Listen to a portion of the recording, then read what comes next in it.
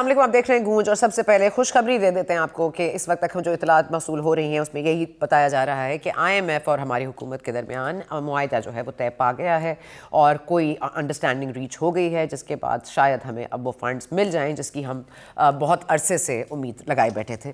और इसके साथ साथ इस वक्त जो डिटेल सामने आएँगी, हम आपको देते रहेंगे, लेकिन ये बात डार साहब ने खुद बताई कि आज खुशखबरी देंगे, वो कौम को आज किस वक्त देंगे, वो भी ज़ाहिर है आपके सामने ही है। अब मामला जो हैं वो दस दिनों के बाद रैप अप हो गए हैं और आईएमएफ अगर ये हमें दे देता है इस मद में पैसे जो हमें जिसकी, जो एक्सपेक्टेड थे, उसके बाद हालात कितने बेहतर होंगे वो तो नहीं पता। लेकिन अगर मुल्क के लिए अगर कोई अच्छा फैसला होने जा रहा है तो इसके इसके जो असरात हैं वो आवाम पर भी आने चाहिए। यहाँ पर पेट्रोल नहीं मिल रहा और बहुत ही serious crackdown doctor Musaddiq Malik कर रहे हैं ज़ख़ीरा अंदोज़ों के ख़िलाफ़। लेकिन साथ ही साथ आज आपको पता है तीन बहुत इंपॉर्टेंट केसेस की बात हो रही है। टोटेरियन वाइट केस में आज जो सलमान अकरम राजा साहब हैं वो पेश हुए। अब फिर एक और तारीख उन्होंने ले ली है। और साथ ही साथ आपको पता है लाजब बेंच वहाँ पर समात कर रहा था। और जस्टिस आमिर फारूक साहब के भी आज बड़े इंपॉर्टेंट कमेंट्स हैं। लेटर ऑन द प्रोग्राम को डिस्कस करेंगे। नैब केस की भी आज समात हो रही थी सुप्रीम कोर्ट में। सुप्रीम कोर्ट के चीफ जस्टिस उमर अता बंदियाल साहब ने आज ये कहा है कि क्यों ना हम आज इस बार इमरान खान साहब को ही बुला लें और उनसे पूछें कि अगर पार्लियामेंट में बैठना नहीं है तो फिर इलेक्शन क्यों लड़ना है? लेकिन इलेक्शन लड़ने की बात से याद आया कि आपकी वजारत दिफा कह रही है, हम रेंजर्स एफ़ सी नहीं दे सकते, वजारत ख़जाना कह रही है, हम पैसे नहीं दे सकते। और फवाद चौधरी साहब क्या कह रहे हैं? देख लिया उन्होंने कहा 220 आर्टिकल की खिलाफ वर्जी ना करें और जो आपको बताया गया है आइन में, उसको सही तरह से फॉलो कीजिए। अब ये तंबी काम आती है या नहीं, ये देखना पड़ेगा। साथ ही साथ, आपको पता है, लाहौर हाईकोर्ट के फैसले के बाद आज तैंतालीस लोग जो बहाल हो गए थे वापस अपने नेशनल असम्बली में अपनी सीटों पर। पाकिस्तान तहरीक इंसाफ से जिनका ताल्लुक है, वो आज पहुँचे असम्बली तो उन पर असम्बली के दरवाजे बंद कर दिए गए। जी साथ साथ मरीम नवाज़ साहिबा भी गर्जी बरसी आज एबटाबाद में जहाँ उन्होंने कन्वेंशन से खिताब किया और अगैन वही वाली बातें जो पहले भी वो कर चुके हैं इस बार उन्होंने उन्होंने शाह कुरैशी साहब को पॉइंटेडली बड़ा शुक्रिया अदा किया कि उन्होंने मान लिया कि उनके जो वालिद साहब हैं उनके जो कायद हैं पार्टी के नवाज़ शरीफ साहब के साथ बड़ा ही एक अनकॉन्स्टिट्यूशनल रवैया अपनाया गया। उसका नाम है इमरान खान। अब ये मामला किस तरफ़ जा, जा रहे हैं? ये जो टाइम बाय कर रहे हैं इमरान खान साहब और जमान पाक के बाहर जो सीख कबाब और हलवापुरी के नाश्ते चल रहे हैं, जो हलीमें बन रही हैं, वो कब तक बनेंगी? और क्या जो अगर सुप्रीम कोर्ट ने उनको मदू किया तो क्या इमरान खान साहब जाने की हालत में हैं, नहीं हैं? आज मरियम साहब ने यह भी कहा कि जब उनको कोर्ट बुलाता है तो वो अपने टांग का बहाना कर लेते हैं, लेकिन अगर उनकी टांग वाकई ठीक नहीं है तो व्हील चेयर पर उनको चले जाना चाहिए। अब मजीद इस पर बात करेंगे। इस्टेब्लिशमेंट के हवाले से भी इस तरह की गुफ्तु सामने आ रही है कि इमरान प्रोजेक्ट पे जो इस्टेब्लिशमेंट के जो अनासर थे, उनमें से अब भी कुछ अनासर एक्टिव हैं। और अगर इमरान खान साहब ये टाइम बाय कर रहे हैं तो क्या ये टाइम बाय करने का मतलब यही है या मकसद यही है? कोई बातचीत के दरवाजे खुले हैं, कोई बात हो रही है। और अगर नहीं हो रही तो उनको किसी चीज़ की उम्मीद है, कोई आस है। और इसी के मजीद हम बात करेंगे। हमारे मौजूद हैं जी सीनियर तजियाकार ऑफकोर्स किसी तारफ के मुताबिक नहीं हफीज़ुल्ला न्याजी साहब। न्याजी साहब, बहुत शुक्रिया आपने प्रोग्राम के लिए वक्त निकाला।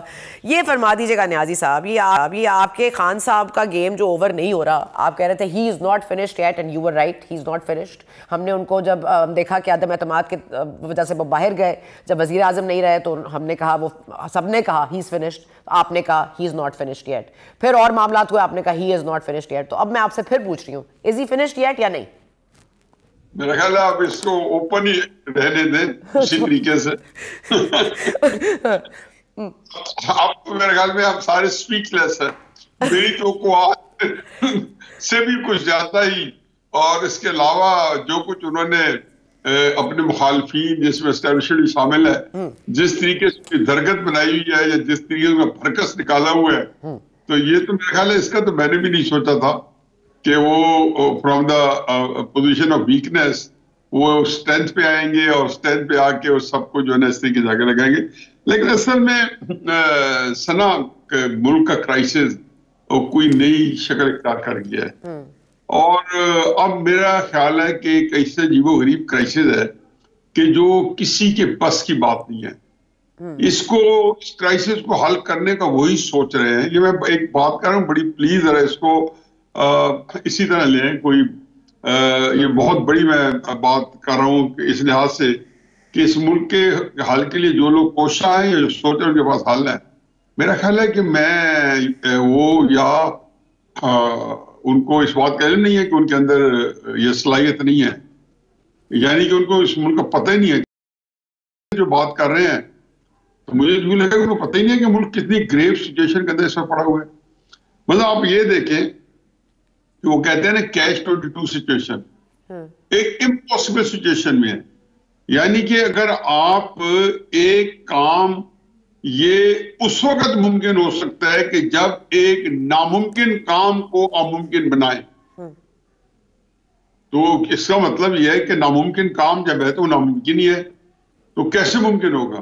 तो वो नामुमकिन जब नहीं हो सकेगा तो ये भी नहीं हो सकेगा। तो मुझे तो इलेक्शन कराएँ इलेक्शन ना कराएँ आइन की वायलेशन करते हैं तो एक डिजास्टर है आइन के मुताबिक चलते हैं तो उसके बाद के जो कॉन्सिक्वेंसेज हैं उसका किसी को पता ही नहीं है। मुल्क यहाँ पे आए हुए हैं आई वगैरह ये ड्रिप्स लगा रहे हैं। आपको दो तीन चार महीने के लिए फिले रिलीफ मिल मिल जाएगी। पिछले साल भी तकरीबन जून जुलाई के महीने में यही इसी तरह की रिलीफ मिली थी। हम्म। तो अब इमरान को हैंडल क्यों नहीं किया गया? जब बाजा साहब की बदनीति उसमें शामिल थी। वो चार छह महीने उन्होंने इमरान खान साहब को स्टेज अंदर रखा। तो उसके प्रेशर पे, वो अपनी एक्सटेंशन ले। एक बंदा जब अपनी जात के लिए ऐसे वक्त में मुल्क के साथ खेलता रहे, जबकि उसके इल्म में था कि मुल्क जो है ना, अब किसी भी एडवेंचर का मुतामिल नहीं हो सकता। जो बंदा नवंबर के या अक्टूबर के आखिर में माशला का सोच रहा है और अपने साथ चार पाँच जनरल को मिला के सोच रहे हैं, और सबको कहते हैं, आप जल्दी से रिजाइन कर दो, क्योंकि अब अनाउंसमेंट हो चुकी है और अभी इससे पहले के दूसरा बंदा आ जाए मैं आपका रिजाइन कबूल करूँगा आप फौज से निकल जाए। तो अगर आप सबके कोर्ट मार्शल हो गए। ये बात कोर्ट एंड कोर्ट है जो बाजवा साहब ने उन जनरल को बताई है जो जनरल आसिम मुनी के आने से पहले चले गए। हम्म। तो देखिए अब क्राइसिस तो कहाँ से शुरू हुआ था? किस नैच पे पहुँचा हुआ है? और उसके आगे किस तरह जा रहा है? मैं तो वो कहते हैं ना आँख जो कुछ देखती है लब पे आ सकता नहीं। मैं तो दहल जाता हूँ सनात सोच जरा आ जाते हैं सर आगे आ जाते हैं चले मुझे बता दें वो स्टैब्लिशमेंट की तरफ़ देख रहे हैं लेकिन स्टैब्लिशमेंट किसी और की तरफ़ देख रहे हैं ये फवाद चौधरी साहब का कल का स्टेटमेंट है। सर वो स्टैब्लिशमेंट उनकी तरफ़ देखे ना देखे वो अभी वो उनको बेनिफिट ऑफ़ डाउट देने को तैयार हो गए खान साहब। तो इस बेनिफिट ऑफ़ डाउट से उनको फ़ायदा होगा या जनरल साहब को फ़ायदा होगा सर? देखिए जी मैं आपको बताऊँ कि इमरान खान साहब जो है ना पिछले तीन चार हफ्तों से मेरा ख्याल में वो एक रिट्रीट पे है।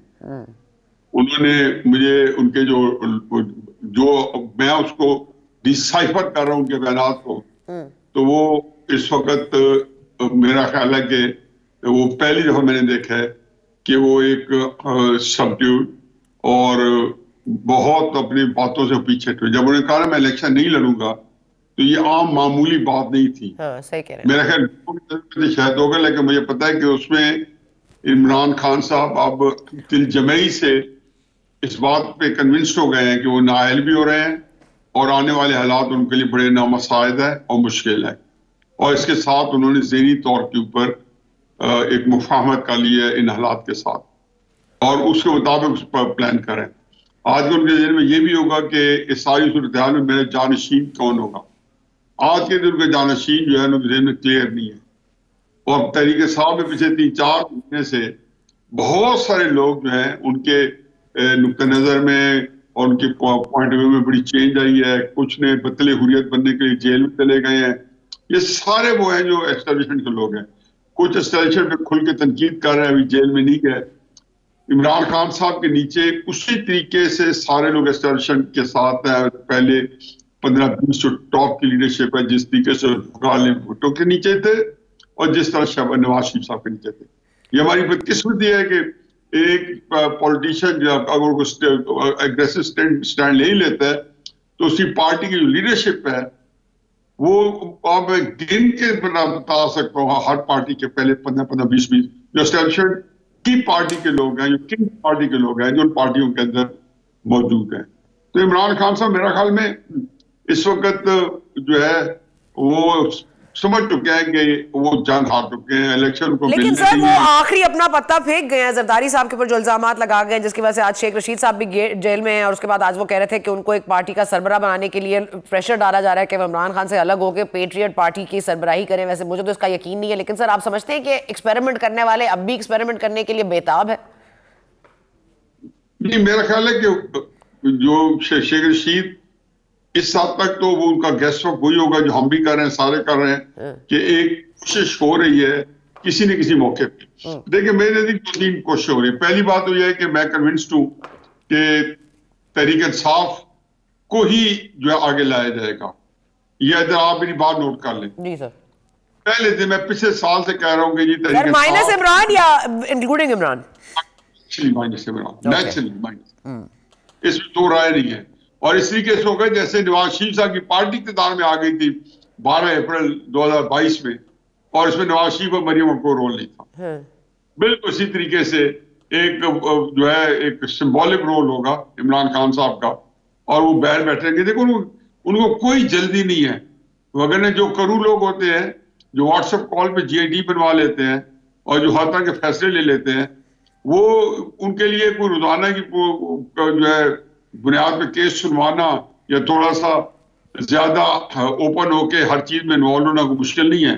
लेकिन मेरे ख्याल है उनको यही सूट कहते हैं कि इमरान खान साहब जो है फ़र्स्ट स्टेट हो। सर इलेक्शन नज़र आ रहे हैं आपको लास्टली बता दीजिएगा न्याजी साहब इलेक्शन नज़र आ रहे हैं आपको नब्बे दिन के अंदर अंदर बिल्कुल, नब्बे दिन नहीं, मुझे तो एक सौ नब्बे दिन में भी नहीं आ रहे, और मुझे दो सौ नब्बे दिन में भी ओके सर होप कि आपको नज़र आ जाए, जब आए तो आप हमें ज़रूर बताइएगा। न्याय साहब, बहुत शुक्रिया आपके तजिए का और आपकी अंदर की इन्फॉर्मेशन यहाँ वक्फा लेते हैं, फिर उसके बाद एक और न्याय साहब में ज्वाइन करेंगे। अमजद खान न्याजी साहब, पाकिस्तान तहरीक इंसाफ का अगला अल्लाह है अमल।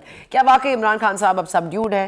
होल्ड बैक कर रहे हैं और बाकी ये क्या बहुत बड़ा फैसला था जब उन्होंने कहा कि वो इंतबात का हिस्सा नहीं बनेंगे और उन्होंने फिर लोगों को चूज़ करके अपने अपनी कॉन्स्टिट्यूंसी में भेजा कि जाके अपने कागजात नामजदगी जमा कराएँ। इमरान खान साहब पर मुश्किल वक्त है या मुश्किल गुजर गई है? बात करते हैं वक्त के बाद।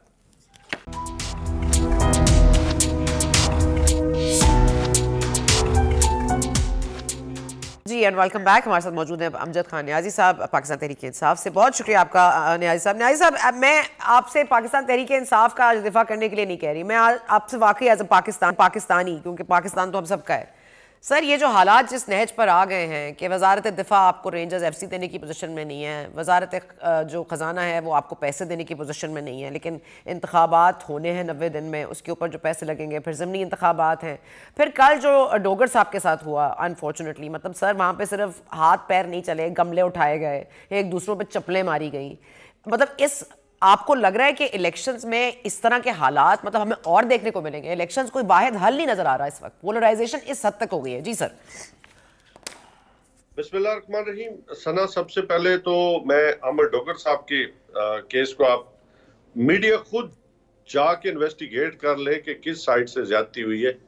तो आपको सौ फ़ीसद पाकिस्तान तरीके इंसाफ की तरफ़ से नहीं नज़र आएगी। सर आया हो गया वो तो जी आया हो गया वो। आपके अच्छा हाँ। सुनो ना। हाँ जी। लेकिन रिहा होने के बाद क्या मतलब रिहा तो हो गया हम्म। लेकिन हमारे भाई के साथ जो उसने तकलीफ़ काटी जेल काटी थाना काटा और उसको जो टार्चर किया गया वो क्या वापस आ सकता है? नहीं। अब अब इसके अदर जो आपने पहला सवाल किया कि एज ए पाकिस्तानी में कहूँगा मैं एज ए पार्टी नहीं कहूँगा। हम्म, वल्ला इस वक्त जितने भी पाकिस्तान के इंटेलेक्चुअल्स हैं जो आपके इकोनॉमिस्ट हैं आपके जो सीनियर लोग हैं इस वक्त जो आपके नोवेल्स हैं वो सिर्फ़ एक बात कर रहे हैं कि मौजूदा गवर्नमेंट कोलैप्स कर गई है। मौजूदा सिस्टम कोलैप्स कर गया हर हवाले से। जब मौजूदा सिस्टम ही कोलैप्स कर जाए तो उसका हाल क्या है? देखिए उसका हाल एक ही है कि आप फौरी तौर पे फ्रेश मैंडेट ले आपकी वो लीडरशिप सामने आए जो इलेक्टेड भी हो और पाकिस्तान के लिए वो काम भी करे। और वो पार्लियामेंट वजूद में आए जो पाकिस्तान की मीशत को पाकिस्तान की सिक्योरिटी को और पाकिस्तान को संभाल सके ये इस मुल्क का मेरे ख्याल में एक बेहतर हाल है जो बगैर किसी मैं समझता हूँ कि वो जिस तरह जब तलवारें निकली खड़ी हो ना उसका एक ही हल होता है कि आप लोगों के पास उनको भेज दें। देखिए लोगों ने इलेक्ट करना है जिसको भी करना है।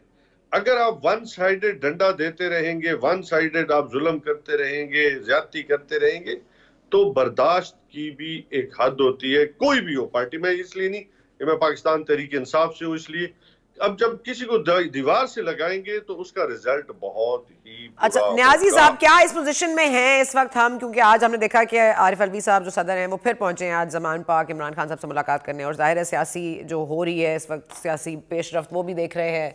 इंतबात के ऊपर भी ज़ाहिर है क्वेश्चन मार्क है। फिर इलेक्शन कमीशन के हवाले से तहफात हैं। लेकिन सर इस पूरे मामले में गुफ्तु करना तो ज़रूरी है क्योंकि एक जेस्चर तो आना पड़ेगा एक ऑप्टिक्स तो आने पड़ेंगे कि ये जो पोलराइजेशन जो जो जो कारकुनों के दरमियान हो रही है जो जो ट्रिकल डाउन इफ़ेक्ट है उसको तो बेहतर बनाने के लिए कोई बातचीत तो होनी पड़ेगी। और अगर ये बातचीत होती है कि चले हम ये थोड़ा सा नब्बे दिन से थोड़ा सा इसको बढ़ा के अर्ली इलेक्शन कर लेते हैं तो क्या ये बात पे गौर करेंगे इमरान खान साहब? सना खान ने बड़ा दिल दिखाया था और उसने खान ने एक फैसला किया कोर कमेटी ने फैसला किया कि पार्लियामेंट में जाया जाए। राइट और जब पार्लियामेंट में जाना था तो लाजमी बात है कि वहाँ पे कोई हमने कोई जाति मफाद के लिए नहीं कहते हाँ।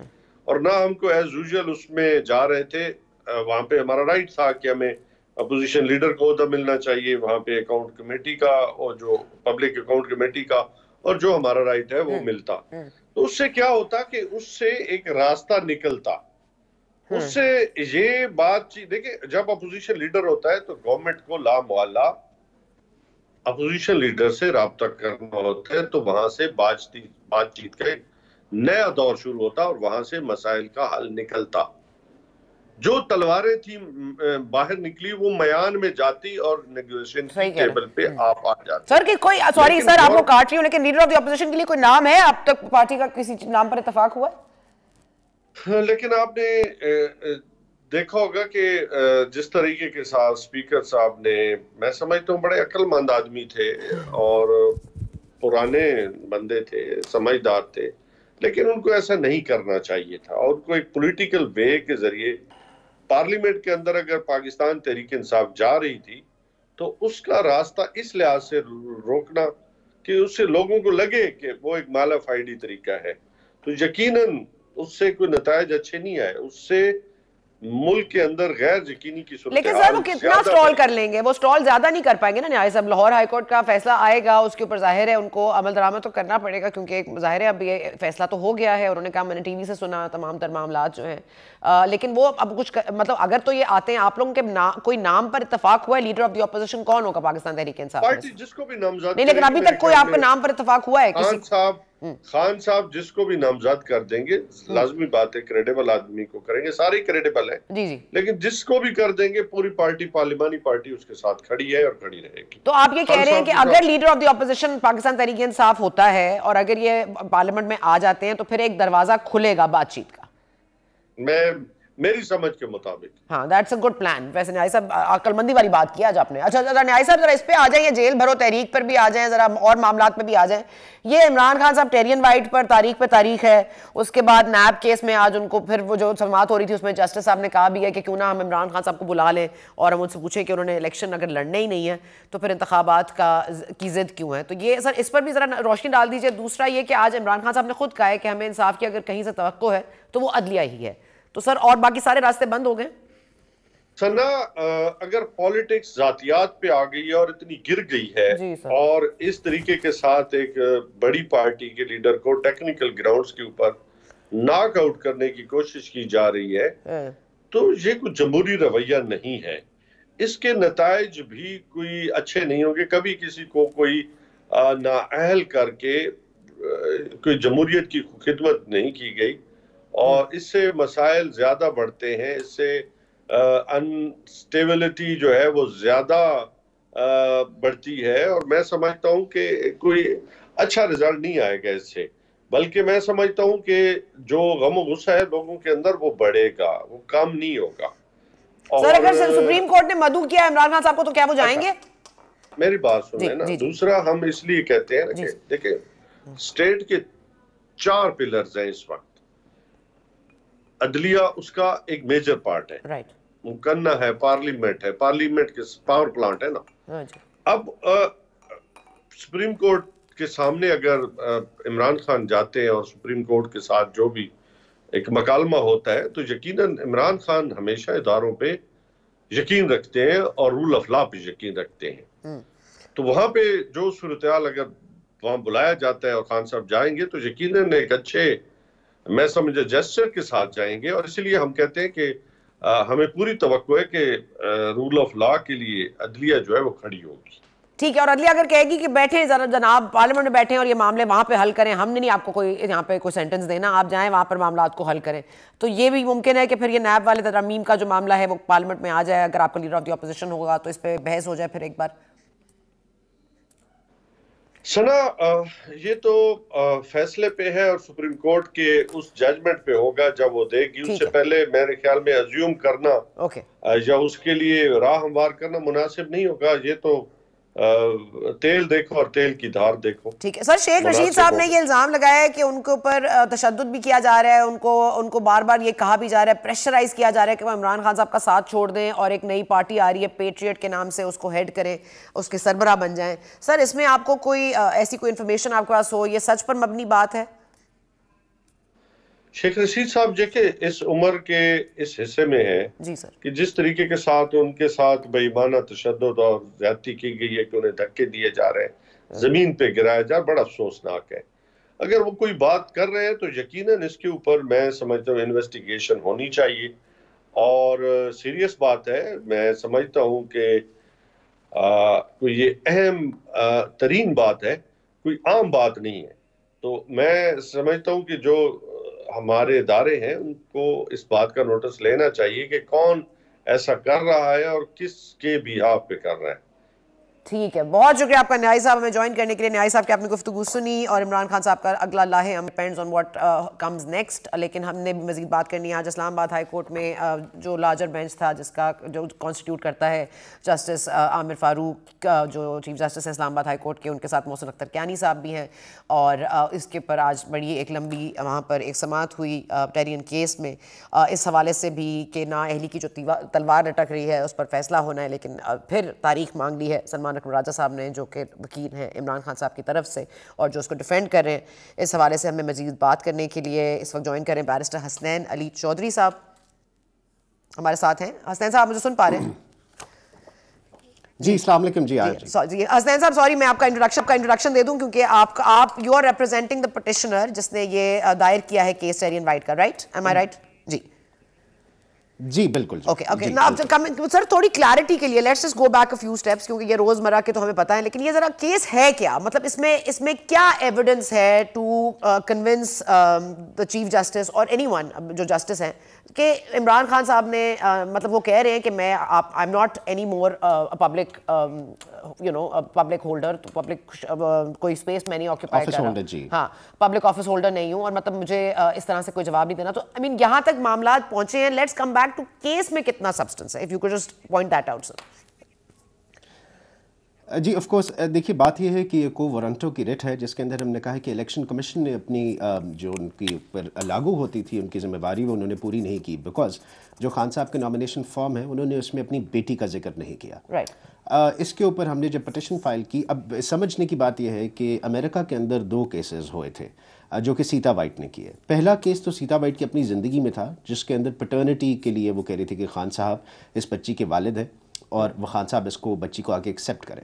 जब वहाँ डीएनए की जब अमेरिकन कोर्ट ने खान साहब को बुलाया तो खान साहब नेवर अपेयर्ड ओवर देयर जिसके बाद एक एक्स पार्टी जजमेंट खान साहब के खिलाफ आ गई। एक्स पार्टी का मतलब कि उनकी गैर मौजगी में एक फैसला आ गया जिसमें कोर्ट ने कहा कि खान साहब इस बच्ची के वालिद हैं। Okay. जब सीता बाइट की वफात हो जाती है तो उस जजमेंट की खान साहब को इस बच्ची की गार्डियनशिप मिल गई। और जब गार्डियनशिप इसकी मिली तो 2004 खान साहब ने एक एफिडेविट लाहौर से भेजा उस अमेरिकन कोर्ट के अंदर हाँ। अब ये केस अब ये जो एफिडेविट है ये एम्बलम इसके ऊपर हमने अपने सारे का सारा केस खड़ा किया है बिकॉज़ खान साहब उस वक्त कह रहे थे कि मेरा इस बच्ची के साथ कोई लेना देना नहीं है लेकिन खान साहब ने कहा कि मैं इस बच्ची की जो गार्डियनशिप है वो नहीं चाहता हाँ। और मैं नॉमिनेट करता हूँ कि उस बच्ची की खाला कैरलिना वाइट जो है वो इसकी लीगल गार्डियन बन जाए। तो हमारा सारा मुकदमा ये है कि खान साहब के पास वो क्या अथॉरिटी थी, जिसके इब्स वो इस बच्ची की खाला को नॉमिनेट कर रहे नॉमिनेट के लिए तो ये ना कि आपके पास कोई चीज़ आए being a guardian natural guardian a father है, और फिर आपने कहा, जी, मैं नहीं कर सकती, इसकी ज़िम्मेदारी उठा सकता। तो ये खाला के पास चला ये जब हमने मुकदमा दायर किया तो ऑफकोर्स ये काफ़ी दफ़ा पहले इलेक्शन कमीशन वगैरह में डिफरेंट कोर्ट्स में चलता रहा लेकिन द इशू वॉज़ कि वो सब जजमेंट अमेंडमेंट कराते थे। उनके पास ये जो एफिडेविट्स थे खान साहब के और दूसरा फिर जमायमा खान साहिबा का भी एफिडेविट हम जमा कराया जो भी वो वो भी यही था बिकॉज़ उस टाइम पे खान साहब के नकाम में थी कि वो इस बच्ची की कफालत नहीं कर सकती तो उसकी खाला नॉमिनेट कर दीजिए। तो हमने कहा So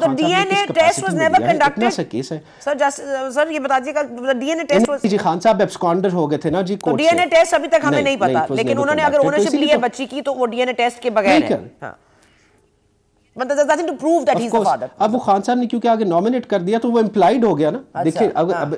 अगर मेरे पास मुझे कोई अमेरिकन कोर्ट कहे कि एक बच्ची है हाँ। तो मैं तो जी मैं तो जानता ही नहीं। लेकिन अगर खान साहब कहे कि मैं इस बच्ची की ज़िम्मेदारी या मैं कोई मैं इस बच्ची की ज़िम्मेदारी नहीं चाहता उसकी खाला को दे दे तो उसका मतलब मैं एक्सेप्ट कर रहा हूँ पहला पार्ट तो। I am excepting the first part कि हाँ फ़िलहाल ये मेरे पास है लेकिन I am nominating someone else तो हमने सिर्फ़ इतना से केस है खान हो गया कि आके बता दे कि आपने किस कैपेसिटी में किसी और को नॉमिनेट किया अच्छा। और क्या ये एफिडेविट आपका है या नहीं है बिकॉज़ अटेस्टेड कॉपी है जो कि कैलिफ़ोर्निया कोर्ट की है Okay. लेकिन अनफॉर्चुनेटली उसका जवाब देने के बजाय वो टेक्निकल जो है वो ग्राउंड्स के पीछे जा रहे हैं। कभी कहते हैं मैं मेंबर नहीं हूँ कभी कहते हैं मैं ये नहीं हूँ.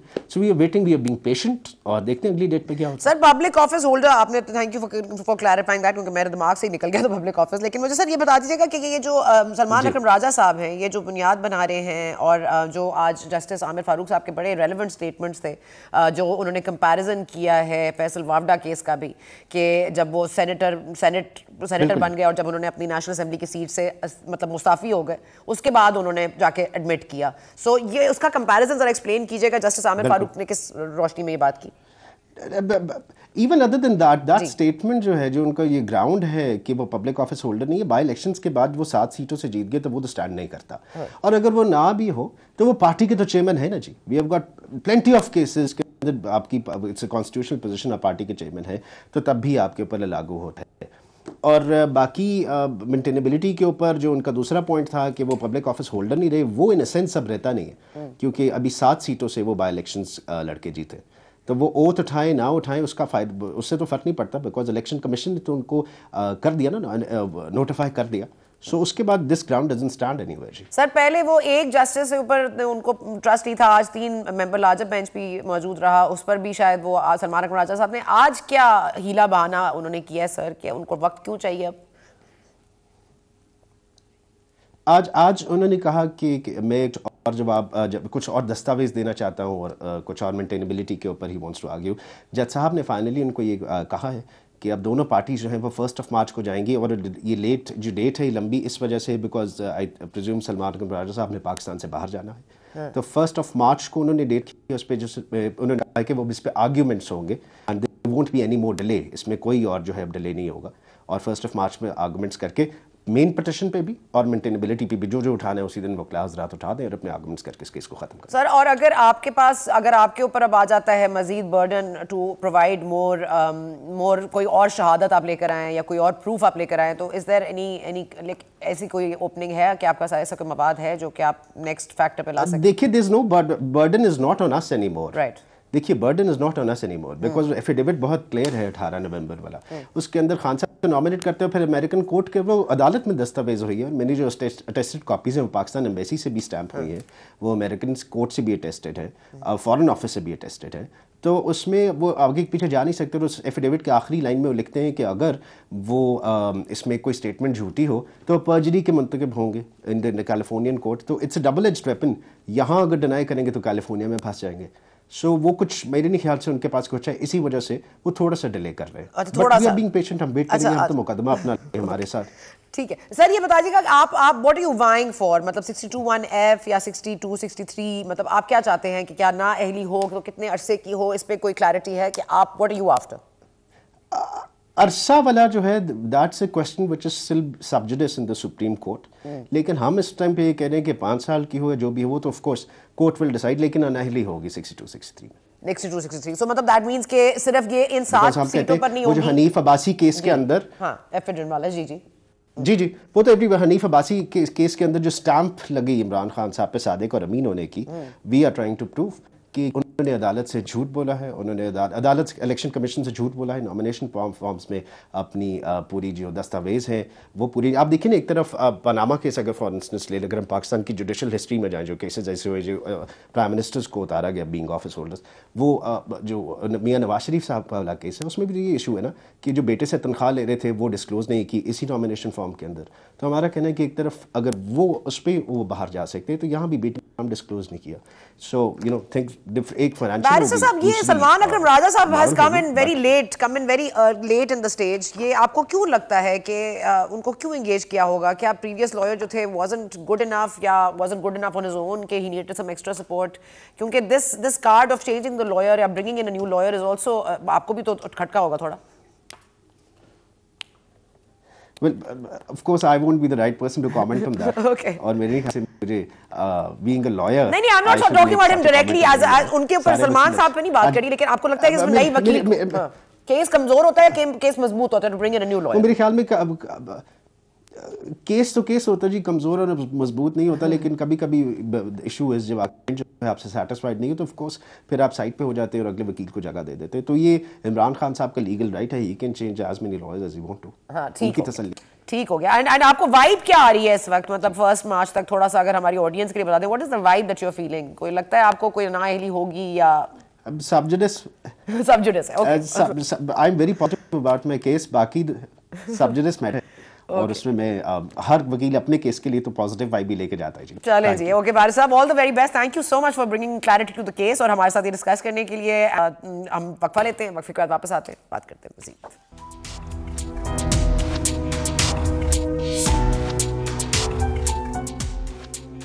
और अच्छी ख़बर की उम्मीद में हम आपसे भी अलविदा लेंगे। लेकिन जाते जाते यही कहेंगे कि इस वक्त जो मामला हैं पर्सनल मैटर्स डिस्कस हो रहे हैं। कोर्ट्स में ये कोई अच्छी रवायत नहीं है।